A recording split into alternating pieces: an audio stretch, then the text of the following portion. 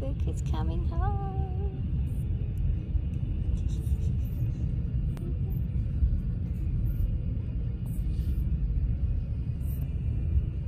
She is like so relaxed and just like Enjoying the yeah, like her eyes are like open But she sees blurry right now, man. yeah. She's just looking at light. Mhm.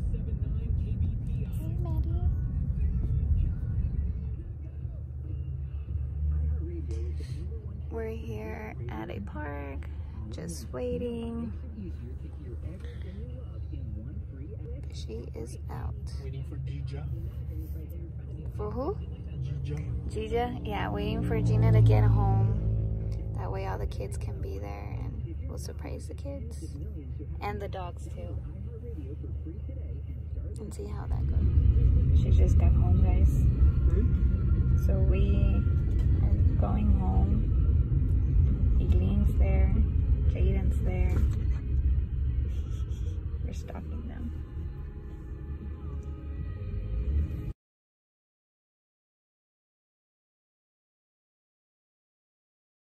Hey guys, welcome back to my channel. So as you guys saw at the very beginning of this video, our baby girl Madison did come home with us and it has been a month. It is September 24th and I've been meaning to do this video for a very long time but since we had the baby and kids going back to school, it has been pretty hectic and I've been pretty tired most of the time. We all know that babies do wake up every three hours so during the night she wakes up a lot and now she's waking up like twice twice a night and that's not bad but still like sometimes like I just want to go back to sleep but of course I can't because I have to feed her. But other than that um, this video would be about me talking about what happened because of course I wasn't able to do a labor and delivery video just because everything happened so fast. Okay guys so before I begin I do want to say I'm sorry for the lighting. I am in my bedroom just because I do have the baby here and she is more comfortable here than anywhere else. So yeah sorry about the lighting. I know I look a little bit dark and you can't really see me but I'm trying to do my videos and do mommy duties at the same time so give me a break. So if you guys have seen my past videos I did mention that I do have two doctors which is a specialist and a regular doctor OBGYN and I would go to the specialist because of how many premature babies I've had. I've had four pregnancies and all four babies have been premature babies. But you guys know part of that story on my past videos so if you haven't seen those videos you can just go back and watch them but anyways I did have to go to that specialist every week and I did have to go with my OBGYN every single week so I had two appointments every every week, which was pretty hectic, but I understood why. With my specialist, I would go just because they had to measure the baby just to see if she's growing fine. With my OBGYN, I would just go for them to check the heartbeat. Now, why check the heartbeat? They wanted to check if her heartbeat would go. I don't know if you guys seen this, but you know there is a line and then you see the little spikes going up and down up and down. So what they were trying to look for is if that line one that goes down would actually go beyond that line. And if it did then that's when they would decide that it's time for me to have that baby or there was something going on with her. But thank god nothing was going on with her on August 7th I had an appointment with my OBGYN it was just a regular checkup. It was for them to check the baby's heart and everything was going fine until on the results it showed that she went a little bit down but not drastically. And the nurse that was there she was like well let me show this to the doctor and see if, if there's any concern about it and i was like okay. So she left. She came back after a couple of minutes. And she said that the doctor suggested for me to go to the hospital for further observations. It wasn't anything major but they just wanted to make sure that everything was going fine. So at that moment, you know, they sent me to the hospital. I got to the hospital, they checked me in and everything, and I was observed for two hours. And in those two hours, she did fine. She did go a little bit down, but nothing concerning to the doctor. So that day, I went back home. Um, they did say that I did have some contractions, but nothing too alarming. They did ask me if, you know, I was feeling those contractions and of course I told them no because I didn't feel anything. But they just said that my body was getting ready to deliver the baby when it came to that point. But coming August 10th, I went back for them to check the baby's heart. Everything was going fine, but they just had to give me some juice, some apple juice, and then they had to use a little machine that basically vibrates and they put it in your stomach. Um, that way the baby can wake up because honestly, she did not want to wake up. She wasn't giving any any movements or anything. So that's what they use for to wake up the baby, which my baby did not want to wake up. She was completely asleep, which in reality right now, she's like that right now. Um, she sleeps in the morning and at night she sleeps, but she's awake most of the time. And yeah, so she's not a morning baby. but anyways, so that's what they had to do. And she was just turning me back and forth, back and forth, you know, turn to your left, turn to your right. And, you know, because that way the baby can start moving and give those signals. So at the end, she was like, okay, I'll give you five more minutes. And if nothing happens, you know, you're free to go. And I was like, okay, that's fine. So she left. She came back those five minutes and she was, and I was already on my right side. No, sorry, my left side. I was on my left side. So then she was like, okay, turn to your right side. And she's like, I'm going to try it again. And I was like, okay. So I turned to my right side and she was trying to move the little monitor where they uh, check the baby's heart, which I'll post some pictures right here if you don't know what I'm talking about. Um, but she was trying to move the monitor and all of a sudden she didn't hear the heartbeat. So her guys her face went to like zero to a hundred like that. It was pretty fast. She panicked. She was like oh my god. And i was like like i knew what was going on but in my head honestly the thought that i had was like she probably just moved. Baby.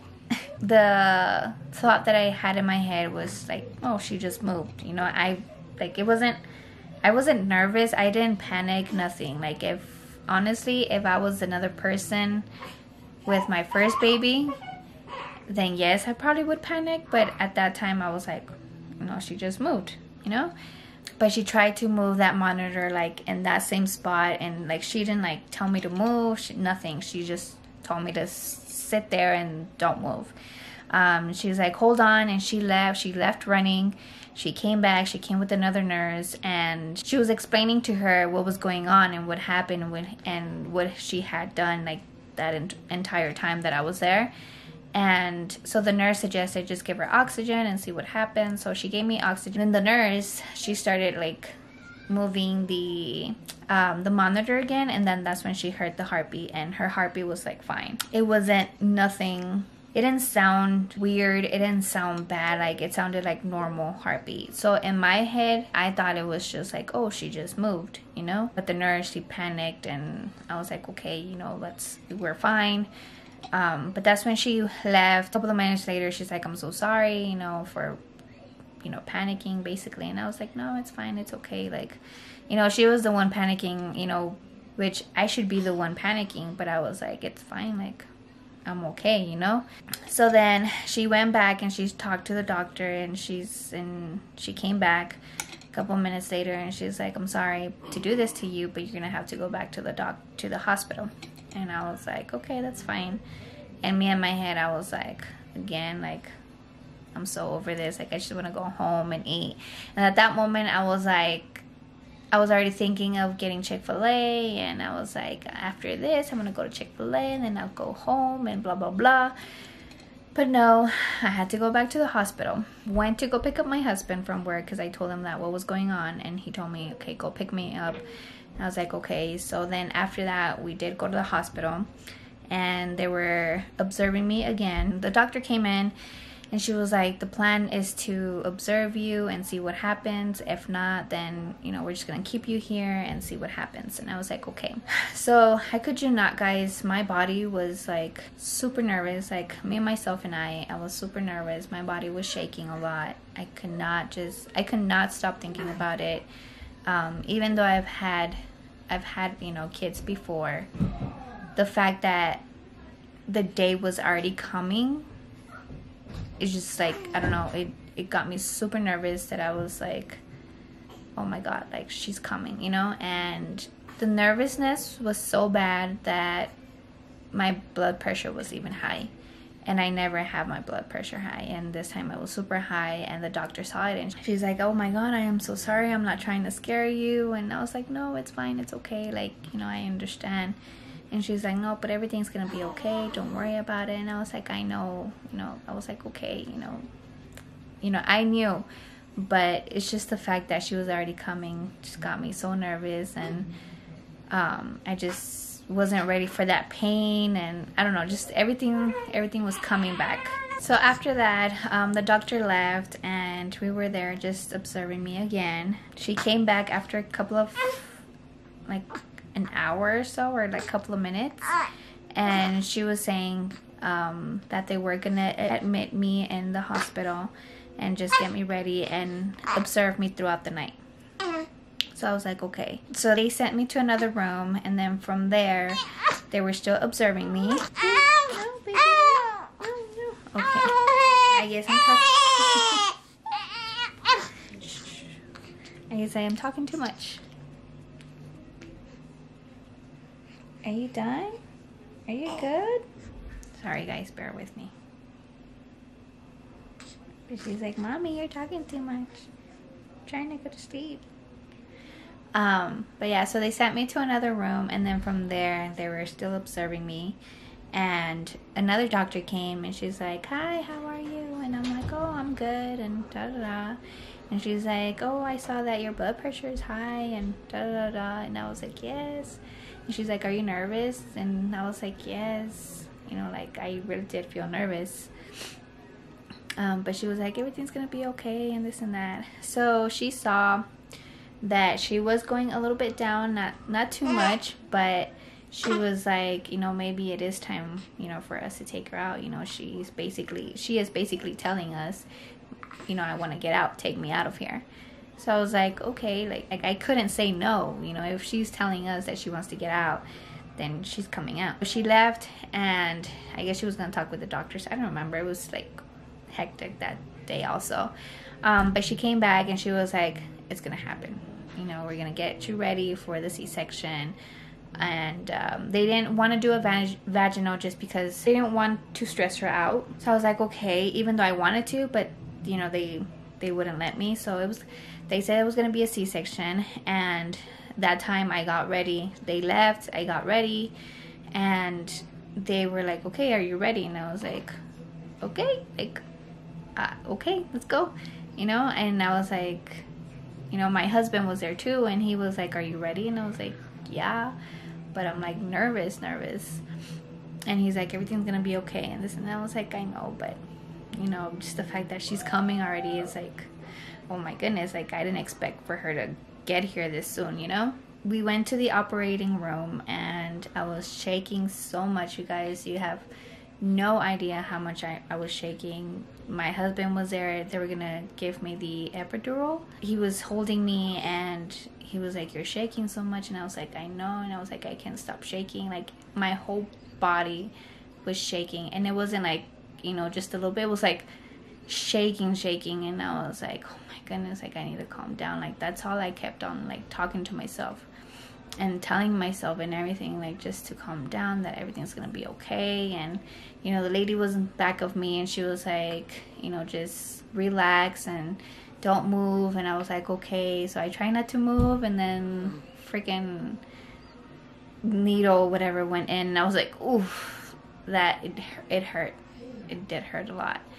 And after that like i was done. And then he and then they were like okay you can lay down. So i lay down and they were like already positioning me to like the correct way. That way they can start on everything. And they put like a big ass blanket over me um, or in front of me. That way won't see like what they're doing. And at some point i did not feel my legs at all like under my waist down i could not feel anything and the lady said that they were like they were poking me with like i think it was knives not knives some i don't know what she said or scissors i don't know what she said but she said something pointy and i was like no i didn't feel a thing so they started with the whole thing and i think it was like it felt like 30 minutes, but I think it was like an hour. I don't know, but they were done. They showed they showed us a baby. We heard her cry. She was really tiny, and you know, the whole time I was shaking. I was so nervous, but I could feel the whole stomach move and everything, like them pulling me everything I, I felt everything and my husband was like you don't are you okay like do you feel pain and this and that and i was like no i'm good and i was like explaining to him you know being so specific on what they were doing like and he was like like he couldn't you know he was like i wouldn't i couldn't do what you you know what you're going through so after that they stitched me up and everything and you know i went back to the room for the recovering room and I was there for like about an hour. I felt so sleepy and I felt nauseous, like really nauseous. And I did not feel any pain until I started, you know, waking up. After that, not waking up, but like standing up. And of course, they were giving me some medications and all that stuff. And that same night or the following day, they were like, Can you get up? And I was like, Yeah, I'll try, you know, to get up. And I sat up and I couldn't, you guys. I I couldn't. I was so tired and literally I sat down and I just wanted to throw up. I was like, I can't, I'm sorry, but I can't. And she's like, No, it's fine, it's okay. Like you can lay back down. And I was like, Okay. And that time when I was trying to pull myself also, I was like, Oh my goodness, the pain. Like I don't you know, I've had other one other C-section and I don't remember how like I don't remember the pain and this one I'm like I, I don't know how I could go through this again, you know? So then eventually I started getting up, of course, and it was it was hurting. I'm I'm not going to lie. My cut was hurting a lot. It was bruised. Um I just like I started walking the day after right away, but the I I could you not, you guys. I I was walking like an old lady, like literally an old lady, just doing my small little steps. And even at that, it was hurting. It was really hurting, and I was like, I can't, like I can't do this, you know. And in my head, I was like, no, I have to, I have to, because I didn't want to be sitting down or in the wheelchair, you know, not getting up, not wanting to walk, you know, because of my pain. You know, I was like, no, if I walk more, um, if I get up more, my pain will go away eventually, you know, because I'm moving it. So I was there about two days. Yeah, I was there about two days at the hospital. I got out. Of course, she stayed in. She was three pounds, six ounces and so she was pretty tiny and she had to stay there at the hospital. They were telling us that she she at least had to be four pounds and you know breathing on her own, taking her bottle and all that stuff. It's okay, it's okay, it's okay. I know I'm going, I'm going, I'm going. Guys, she's a feisty one. I can tell you guys that. Like, she gets mad and I'm like, uh-uh, like, no way, Jose. And she makes all these noises. And she's like, I'm mad, mad. I just gave her the pacifier and no. Um, but yeah, like I was saying, like, she stayed there until August 23rd. I think, or 24th. So it, it has literally been a month since she's been out. Um, but she was there for two weeks at the hospital, and those two weeks, it felt like forever. Um, I was tired. I I didn't want to like my appetite was not there. My husband would ask me like are you hungry and I'm like no, like I'm not hungry. Like I don't know, like at the same time, I felt like I was, you know, and I was depressed, you know, but at the same time, I'm like, you know, I can't be depressed. You know, I'm just sad that she has to stay there, you know, because for a person that's had four pregnancies and all those four babies had to stay in the hospital, like it gets tiring. Like I wanted to be those, you know, that mom that comes out and comes out with her baby, you know?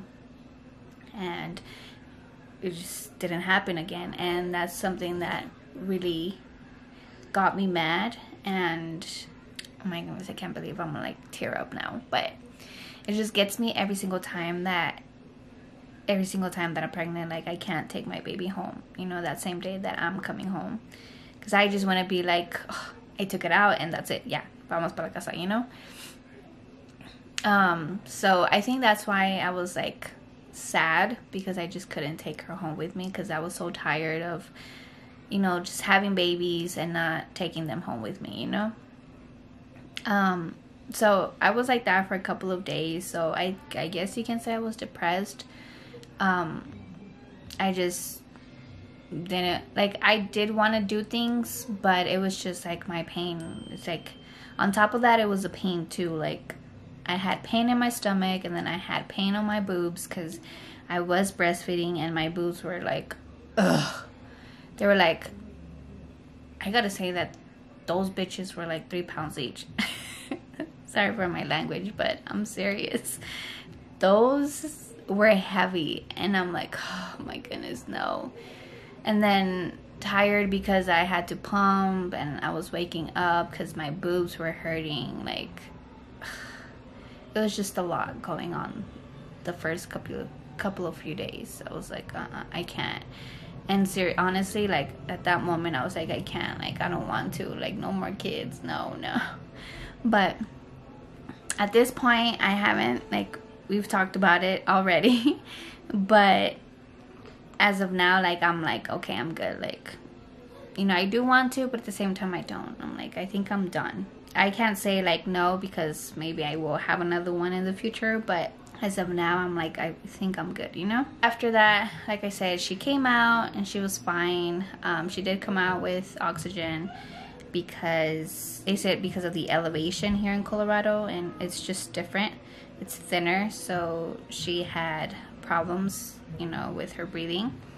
But it wasn't much, you know, she just needed like very, very little. And as of now, like she doesn't need it, but you know, in case she does, like I have the machine. We did a study and she's good, so that's a good thing. But I still have it just in case. But yeah, I mean, other than that, like that's basically what happened. Like, like I said, it happened so fast that I I wanted to record it, but it was just pretty hectic. Everything happened so fast that I I, was, I didn't even think about it, you know. She's good. Now she's a month and she eats a lot. So she's growing, but she's taking her time and she's super cute and all our kids love her. Um, I know my daughter Aileen, she, I mean, we all wanted a boy. Why lie? We all wanted a boy. As you guys saw my other videos, um, our gender reveal, we all wanted a boy, but my youngest wanted a girl. And she's really good with her. Um, now she wants to carry her, you know, most of the time. At first, she was like, like I don't want to carry her, you know, because she was really tiny. And I'll post some pictures right here. That way you guys can see how tiny she was and how she looked when she was first born. But she's she's pretty good. She loves to carry her now. And then Aileen, which is my my oldest, but like or like our fourth child together, she was in denial. She was like, "No, it's gonna be a boy. It's gonna be a boy." And when I when we told her que we were gonna have the baby already, she was like, "I'm not ready. I'm not ready." And I was like, "Why not?" And she's like, "No, I want it to be a boy. It's gonna be a boy." So she was in denial for quite a while until now that she's here, she's honestly she's the one that's right here with her. She'll come every, you know, every minute or every hour or so and she's like can i carry her or like she's there touching her head or she's there kissing her and stuff like that like now she's the one that you know that it's just there como un chicle and you know sometimes i'm like you know leave her alone déjala and she's like no no no and i was like i remember when you didn't want a girl and she just stays quiet and she laughs but i mean we all want a boy but she's good. But anyways, that's the story. That's how everything happened. like I said, it happened so fast, and now she is here with us, waking me up every single time, crying. She's hungry, sleeping. When she sleeps, I'm like, I should be asleep. I should take a nap. I should do something that way, you know, aprovechar. You know, that way I won't be so tired. But then I'm like, I'm like so wide awake that I'm like, I'm not tired. Like I'm not sleepy. But sometimes I do get those moments where I'm like, oh, like I'm so tired. Like I want to go to sleep. But, mm, but she's good, you guys. Like we're excited for her to be here. And yeah, so let me let me show you guys. Look at her, guys. Everyone, meet Madison Flores. She doesn't have a middle name because I told my husband that some of our kids have middle names, but we don't use their middle names. We only use their first names. I was like, what's the whole point of a middle name? So there she is, you guys. She's so cute. Asleep.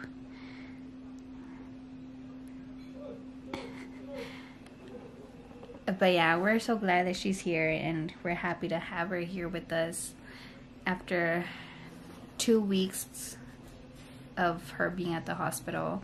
And it was pretty hectic too of going back and forth, back and forth to the hospital because, you know, we had to wait for my stepdaughter to get here. That way we can go over there and then come back and then make dinner and then go back again. So we would try to go two to three times a day which that was a lot, you know, because we also have kids here, and you know, the kids were like again, and I was, we're like, yeah, like we have to go, you know, and they're like, well, tell the baby to come back, and I was like, I know, but you know, we just have to wait till you know she's ready.